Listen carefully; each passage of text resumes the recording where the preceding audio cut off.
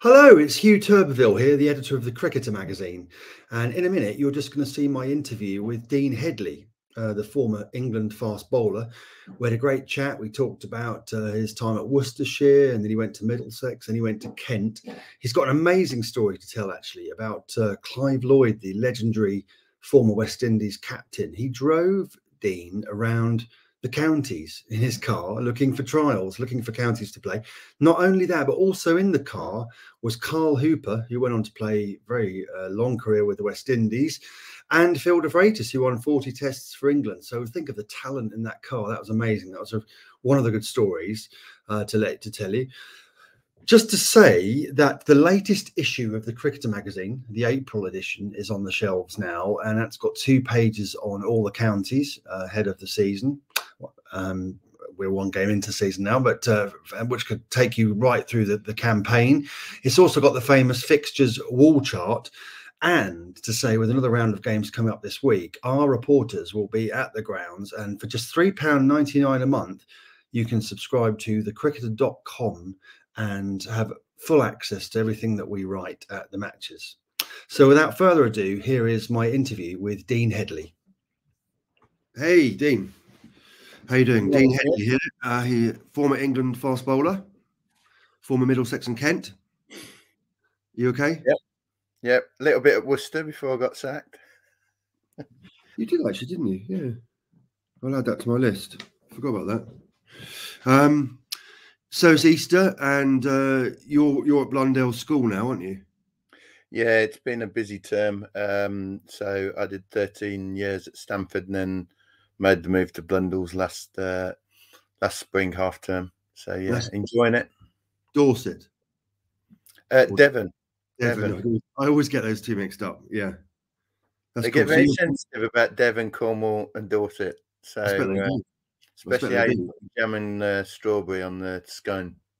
Oh right. Well, I'm from Suffolk, so I mean that's like calling me from Norfolk, I suppose. So yeah, no, I can understand that. So um, so, so talking about counties, we'll start with that then. And and I associate you with Middlesex, where I watched you at Lords bowling. I remember that quite vividly when I was at university uh, in London, and then Kent, obviously. Um, happy days, county cricket. You enjoyed those?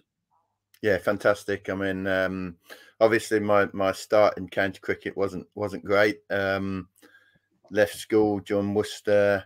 Um, I was a young. I bowled a lot of overs as a kid, lots of overs, but I grew quite a lot between the age of 16 to 18. So I think it took a time for my body to catch up. So I was injured a lot at Worcester, but uh, they decided to release me. I spent a season with the help of Clive Lloyd. I went to um, a little club called Leycett in North Staffordshire, South Cheshire League. I proed for them. Um, I think after this is how small the club was big heart, big club in the sense of um, the amount of teams that they put out. But um, there was uh, eight. I worked out eight of the people were all related in the first team by some way legally, but um, Norfolk. yeah, so so it was, it was, a great time.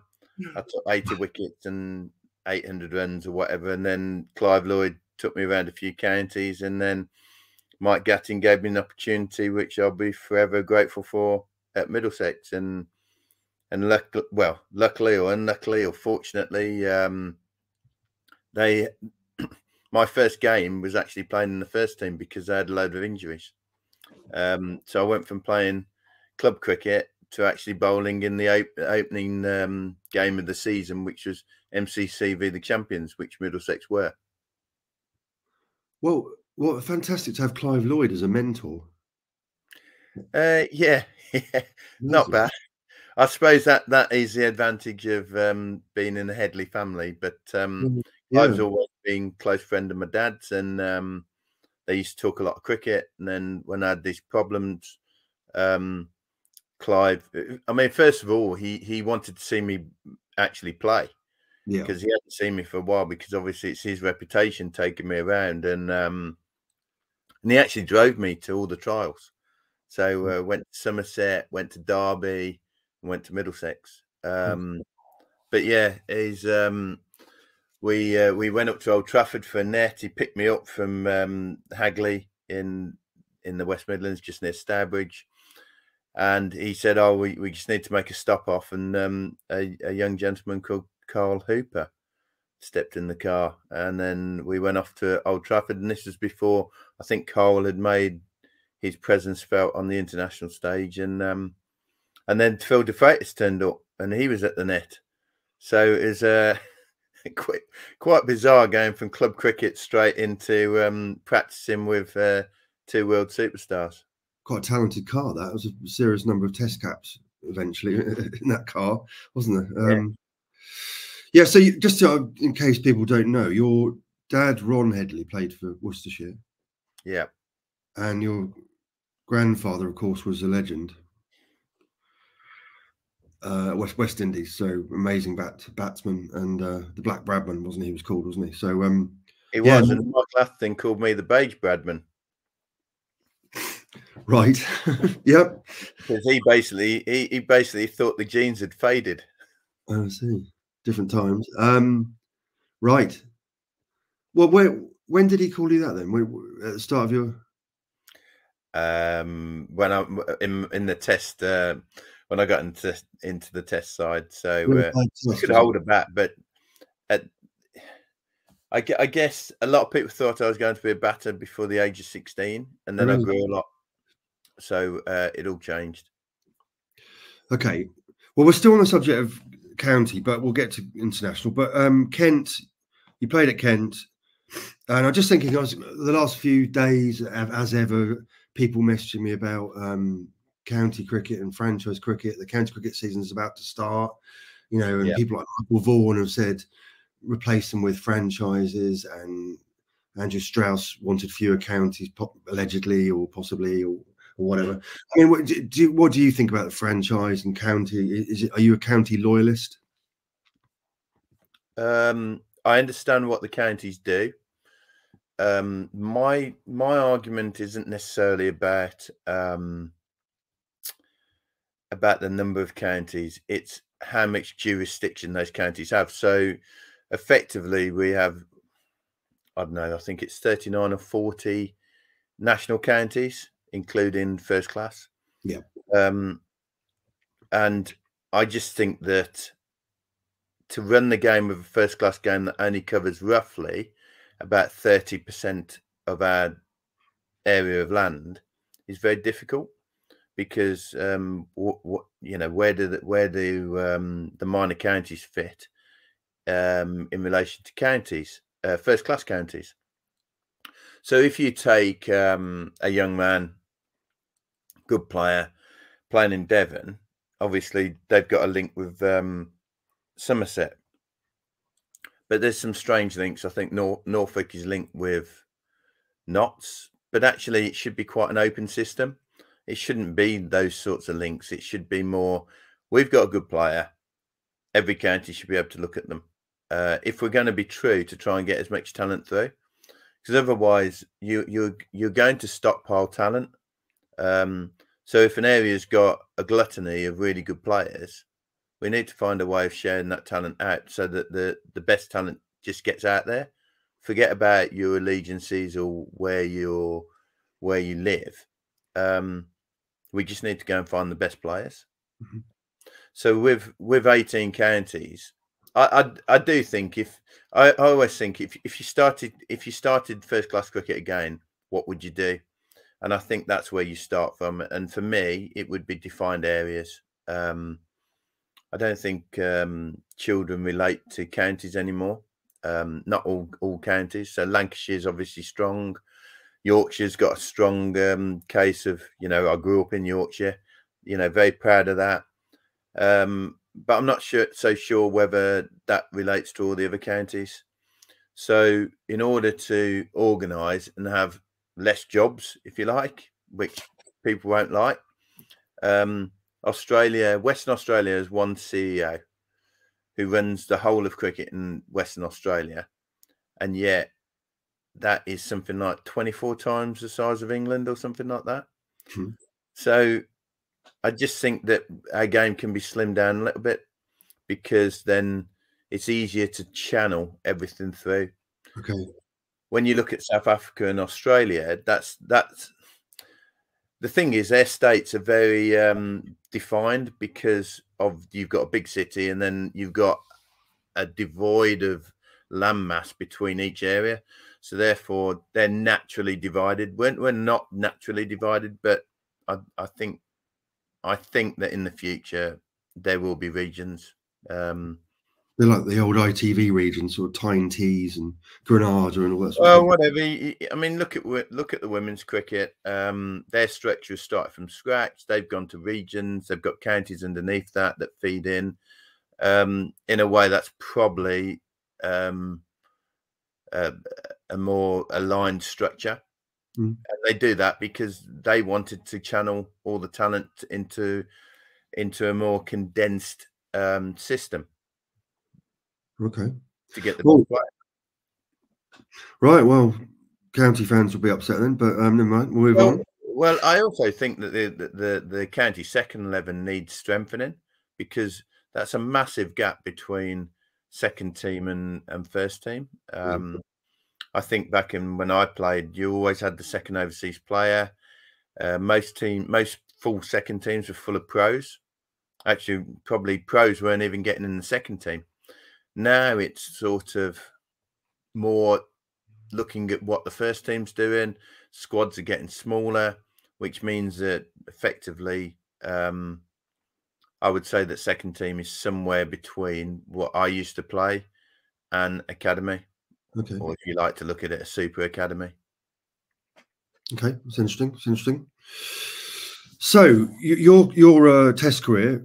Um, I've got a friend actually, Morgan, who's rewatching all your old series at the moment, and it started with um, 1997, Yeah. uh, Australia, and of course that was a full storm when England won the first Test at Edgbaston. But uh, I mean, you immediately did well, didn't you? Eight wickets, two wickets, six wickets in the, in the matches, 16 wickets in three Tests. Yeah, uh, it was it was good. Um, I mean, it took me a long time to get into inter- international cricket. Um, I don't think anybody really spoke about me till I got to about twenty four, um, and then I, th- I think I just grew into my body, and I was a bit unusual. I wasn't the typical English seamer, which uh, I used to nip the ball back a, quite a bit off the seam to right-handers, which meant it went away to left-handers. Used to bowl pretty straight. So a lot of the percentage of my wickets were bowled LBW or caught keeper, first slip, second slip. So my wicket taking was probably more aligned to Test cricket. Um, when I bowled a good ball, it was a good ball to get get good players out.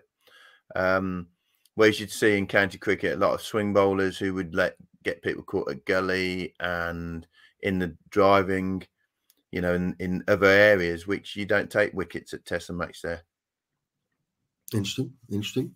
Yeah, yeah. I, I was seeing a video clip of Mr. Atherton praising you for the way you bowled to the left-handers, and then that winter you went to West Indies, and there were quite high hopes, weren't there, that England could finally beat the West Indies, but um, they didn't, and that was kind of Mike Atherton's last stand, wasn't it, as captain? Yeah, it was. I felt. I mean, we went to Jamaica, um, and the Test match was called off. So, if you were actually thinking, if the ECB were thinking that to give us the best chance, it wasn't to go and put a back-to-back Test match on in Trinidad. Um, you just go, well, the shorter the contest, the more, the more likelihood an upset. Um, so we went there, and I, I mean, I remember not bowling very well in the first test, um, but I bowled well in the second test. Um, and. I was very much a rhythm bowler. You know, it, there. Um, I didn't need to play a lot, but when I got into my flow, then I became, I think, quite a dangerous bowler. Um, uh, there's other bowlers been in history that they they go on wicket taking sort of spells, and and I think I was one of those bowlers. Um, so on that on that series, we played really well. We were unlucky at Barbados. I think we would have won in Barbados if it hadn't rained, uh, which would have drawn the series. Um, and then we went to Antigua, and and Antigua, Antigua, we shouldn't have started. I mean, the, the wicket was wet. Um, we we were we were out the game within the first session because the wicket was wet. It then dried out, and then it became the normal Antigua flat wicket. And West Indies, I don't know, they probably got about 500. Um, they got a lot of runs. Um, but yeah, I got 19 wickets in the series, and and and I think up to that point, only seven bowlers got 20 wickets in a West Indies away series. So I did all right for my first overseas tour. Did very well. Did very well. Um, yeah, absolutely. But then, so the the following summer, Alex Stewart was now the captain, and again, you started sort of developing this reputation as an overseas specialist and not necessarily playing every home test, didn't you? Yeah, quite bizarre that. So um, I can bowl on flat, flatter wickets and overseas wickets, but I can't bowl on English wickets.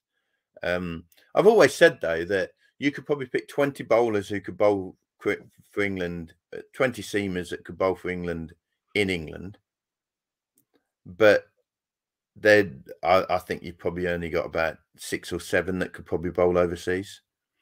So for me, possession is nine tenths of the law. I'd played all the test matches in the West Indies.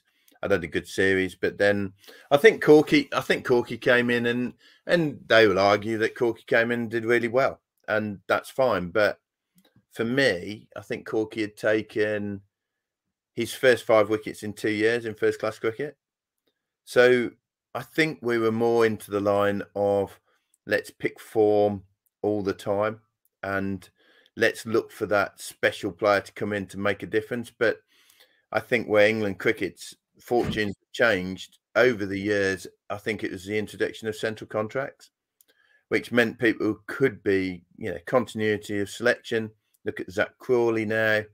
Um, if you believe in a player, you got to play them and you got to keep playing them. Um, until that belief goes away. But bringing people in, it was a scourge of the 80s and 90s. Bringing people in for one test match, two test matches, they get an average test match, they flip the coin, they pick the next one. And it was always the bowling attack that seemed to change, not the batting, um, which is fine. But actually, I think we did all right as bowlers. Um, I'm not saying the batters weren't weren't good, but I think the world bowling attacks were were pretty sharp in in those days. Um, if you, I don't think there's a weak bowling attack in the world. Mm. No, it's. I mean, you were competing with Goughie, Caddick, Cork, Mullally, Mullally, Fraser. Yeah, so quite a good battery, very good battery of bowlers. Yeah, but Alex Stewart did then turn to you again that winter in Australia, and and that was kind of your finest hour, wasn't it? That amazing Melbourne Test match. Yeah, but I didn't play the first two Test matches, so um, it was always the last three. I did all right. I had, um, you know, my, my game was based on effort, and yes, I'd got some skills. I could reverse swing a ball, but I think I just bowled straight. I had a natural variation, which wasn't easy to pick up because I wasn't. Um, I wasn't as technical bowler as a lot of people uh, try and be. Um, I really believed in natural variation. I had a natural had a had a good ball that nipped back. Um, did I always know when it was going to nip back? Not always. Um, I swung the ball occasionally, so I think that that caused uh, indifference in the way people played me. Um, I know that Geoff Marsh at the end of the fifth Test match wanted to know why I didn't play the first two Tests, um, and you know that's a nice compliment to have. Definitely, definitely, old Swampy. right, so then unfortunately then injuries struck didn't they um uh, south africa 99 2000 duncan fletcher liked the look of you didn't he but um i'm afraid yeah so so i came i came back off the australia tour and i honestly was my confidence level was high there was a world cup coming up in 99 um and what happened to you i i was bowling in the nets at kent and i'd bowled for about I don't know three mm. weeks, whatever. And I was like, honestly, so excited about the the coming season. And then I slipped on a black mat and didn't think anything of it. You know, things weren't so stringent in those days about reporting stuff. Slipped on a black, black mat. Next day, T20 game against um, just a warm up game against Kent League. I didn't feel right. I didn't quite know where the ball was going. There was just something wrong, and this carried on throughout the season. Didn't play in the World Cup. Uh, I played two Test matches that year that I honestly didn't know whether I was going to bowl the ball down the leg side or the offside. Um, I'd just lost my control, which I'd never had in the whole of my life. Um, and it turned out that I had stress fractures, but they weren't giving me pain. But your body is really, um, your body's really clever at working out what's going on. So my body was basically packing in. Um, and then, as you know, I went to South Africa. I didn't do any training for six weeks. I bowled. It was back. I was bowling well and I bowled for two days before I had a back spasm, and I never played a first class game again. That's so sad, isn't it? What do you think anybody could have done something about it in, in this modern era, or? One hundred percent.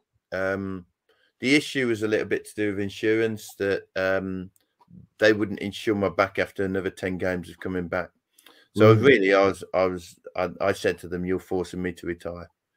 Um, and the money in cricket is about two years away before starting to explode. So I had a young family. I had to think about what I was going to be like um, getting older. Um, and I didn't feel like I could play without any insurance. Yeah, so as you say, central contracts came in in 2000, and that was the start, wasn't it, of um, a different sort of landscape for, for cricketers? Yeah. Well, yeah, I was uh, I was players representative on that as well. So uh, while I was injured, I, I um, I I basically um, uh, told told Nasser that the best way forward was um, after after doing some research. The best way forward was the PCA, uh, players players union, because if ever there was a dispute, you needed your players union, and a company called Harbottle and Lewis, um, uh, who came in with another company but ended up representing the England team.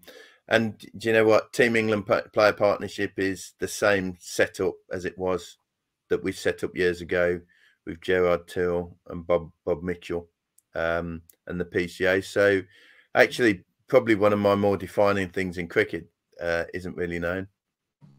Right. No, that's a, quite a legacy, isn't it? Definitely. So, if you were in charge of resculpting England's attack this summer, um, yeah. what would you do? Uh, I think they've got many options. Um, the issue that they've got, their spinners might not bowl too much in county cricket because of the way that we put county cricket in uh, a very busy schedule, uh, top and tailed at the start and the end of the summer.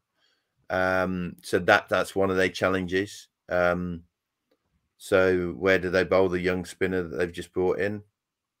How will he get experience? I, I don't know. Mm. Um, and then you've got um, the bone attack. The big question is what do you do with Anderson? I mean, I mean, 700 wickets is ridiculous. Um, he's a master at what he does, but at some point he won't be bowling for England at 60. I mean, maybe he will, but I don't think so. So I think it's how they manage that.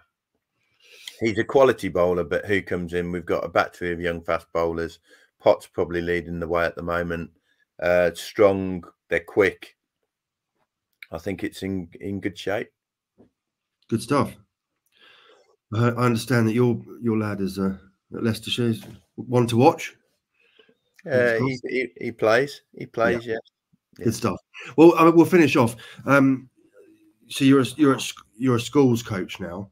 Yeah. But, and I know you've got some interesting views about club cricket as well and promotion and relegation. So, you know, tying it all in with youngsters and, and development and stuff. You know, um, you don't believe in promotion and relegation, do you? No.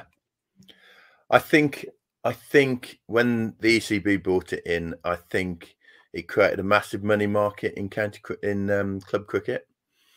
Um, it made people feel that their club was the most important thing, and and look, club cricket for me is the most important thing in the whole of our system because that's where all the kids get introduced to cricket if it's not there, cricket would die in this country. So when club cricket is strong, I think that we'll always be producing players all the way through. And it all starts with the introduction. So, you know, as Mike Atherton said, you can talk about going to private schools and everything which are really good and nurturing the talent. Um, but a lot of players are cricketers before they get there. So very few are just absolutely created at schools. Um, but school private schools play a big part in that. Um, they harvest more talent than they used to than when I was at school, and I don't think that should be bemoaned. Um, which it is a lot of the time. It, it's just a, a, part of the system that really works well. Um, there's still probably 60% of um, state school cricketers who play first class cricket. Uh, and it doesn't surprise me that the England team's full of private school uh, educated uh, players because um, if they're the best, that's what the private schools are going to try and get. Uh, it, it, it's not a stats thing; it's it's a, a sensible thing. If you've got the best players, that you know, private schools are going to invest and support. But funny enough, they they invest and support the cleverest kids with academic scholarships the children who are really good at music and the children that are good at sport. Um, and that that's what they look to do. Um, in terms of club cricket, I think if you look at if you look at cricket as a world and the surface of the world, if a team goes up and a team goes down, where's the improvement? Because it's the same world and there's nothing fundamentally changed about anything apart from you've just destructurized the surface in many leagues. So every year, you know, the grounds change in the top division and the second division, but really we should be playing our cricket on the best grounds, and each of the top clubs should have um, certain things that they have to hit, be able to be a top club. Uh, youth system, good coaching, maybe a, a, paid mm. coach who's heads that club. The system should be more about producing players, introducing people to club to to cricket, and then producing players. So players need to move through a system quicker than a club can. So we'll have a system where I, I played in the Birmingham League, brilliant league. Um, it drew in from five counties. It didn't pay out a lot of money. It got young overseas players, you know, up and coming overseas players, and it was a tough league. Um, the next, you know, the second team cricket in that league was brilliant as well. But there's no promotion relegation. It the promotion relegation happened in your club. So you, I started off in um, the third team at Old Hill, and then I made it into the second team, and then I made it into the first team. So you, when I say I'm not a fan of promotion relegation, there was promotion relegation in fixed leagues because you went through your club. Right. Uh, there wasn't so much movement in clubs. So what happens now is if a team gets relegated from the Premiership, I think there's a team in Kent called Rax, and they'd been a Premiership club for ages, and then uh, they got uh, relegated. Five players left out the first team they got relegated again, and I think they went straight out the Kent League in six years and folded. Mm. That had nothing to do with the club. That was to do with players deciding to move. And why did they move? Because probably somebody offered them a little bit of back end money, and then and that's how it works. Mm. So clubs get relegated or promoted, but generally it's quite money orientated. So that you know you'll have a good player who should play in the top league is playing three leagues below because somebody's putting two hundred pound in his pocket. So therefore, the best leagues are not the best leagues anymore because they don't have all the best talent playing in them. Right. And we've got to we've got to be strong. If I was a county and I was like Leicester, I would create my own league and I'd say these are the twelve clubs. These are the twelve clubs. If you think you want to play for Leicester, you need to go to these clubs. And that's not denouncing other clubs, but in general, I've seen it before. You get a chairman, puts a load of money in, uh, invests in the club. As soon as that money stops, the club dies. You know, it, mm. it's just false. It's um, you know, emperor's new clothes, isn't it? It's it's it's um, chasing fool's gold. Um, yeah.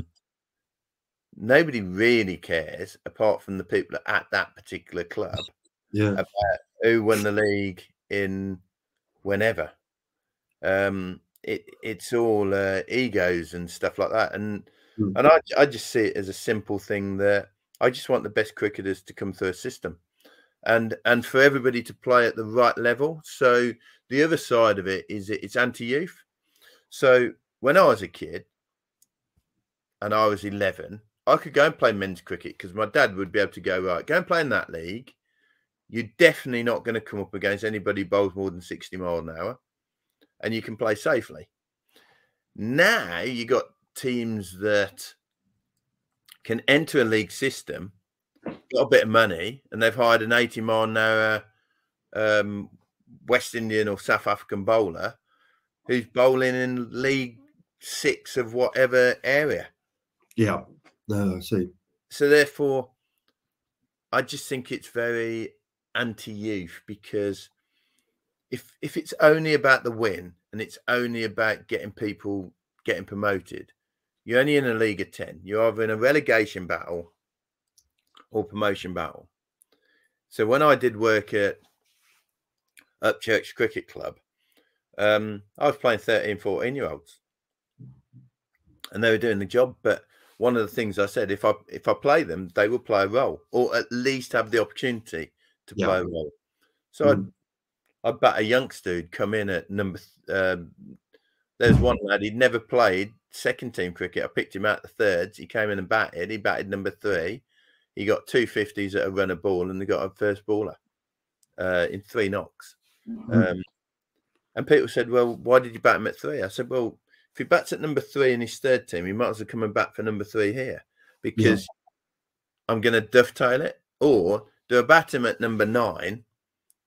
And he thinks, "Well, what's the point in playing cricket?" So I just think that it's become too much about the win as opposed to development. And don't get Yeah. me wrong, before people start attacking me saying, um, "Oh, so you're one of these that sports for fun," it's not. We all compete. We always compete, but there's bigger things to look at, and development and encouraging kids to play at 15, 16. If you talk to them, the reason why they don't play club cricket, a lot of them will drop out going from youth cricket all the way through is because they don't get a bowl or a bat. And how sad's that? Yeah, absolutely. Yeah, absolutely. Absolutely. year old who's playing, he's demanding to bat at number number one, demanding to bowl his overs, and you think, God, we only rent the game from the kids that were we're only buying the game from the kids that are going to be playing in the future. So Yeah. um and and last lastly, I know that I'm whittling on here. No, you're okay. Lastly, leagues have lost their geographical boundaries. There's a reason why the Birmingham League's called the Birmingham League, because the people who played in it were based in the Birmingham or the Black Country. Um, now, or over time, Oswestry has got into the Birmingham League. Roehampton has got into the Birmingham League. And they're they're nearly on the edge of Wales. Yeah, I was going to say. So geographical boundaries have been lost because anybody, effectively, a team in Devon could get promoted to the Birmingham League because there's no restriction on it. If they want to travel, I see. they could do it, hmm. which is just ridiculous. Sounds And odd. so, so when you think about we're trying to make cricket sustainable by not having boundaries on where leagues operate. And if I know it doesn't sound a lot, but if you stretch a club that gets into the Birmingham League and it's 30 miles more than what it needs to be, that becomes a big issue for everyone Yeah. not not just the first teams, the second team, the third team. So how can you be travelling an hour and a half, two hours to go and play a cricket game? Just bonkers. Money wise, you know, um, why why would you do it? Yeah, no, it seems uh, it's good. point. I didn't know that, that they'd done that. I mean, you know, I played a bit in the Surrey League, and, and it's huge, and and you know, you did have some quite epic trips, right down to sort of uh, places like Normandy, you know, from South London. But um, But wouldn't that be that wouldn't that be traffic as well though, Randall? it could be. I mean, at least that's Surrey. You know, I, I didn't know that the, the Birmingham were taking teams from what Shropshire, Herefordshire, are they all? Yeah, because it's like um it's like what they term as their pyramid system. So you've got the leagues, and, and I think they've just changed it recently to go back a little bit. But Right. You know, for me, it was players' choice. So we had players, we had people coming from Northampton to play in it, Derby. Well, Um, but they came because they chose to come, not because they were forced to come. Yeah. Um, because in those days, if you got runs in the Birmingham League, you you you probably would be offered a contract. Yeah. Um, and and and I think that's what that's the beauty of Australia. Uh, the ECB at the time thought they were, they were really following a um, an Australian system. I remember David Banks, he used to play for Worcester and Warwickshire. He um, he said he was at the meeting and they kept banging on about Australia, and he said they don't run a system like that in Australia. They run everything's fixed leagues.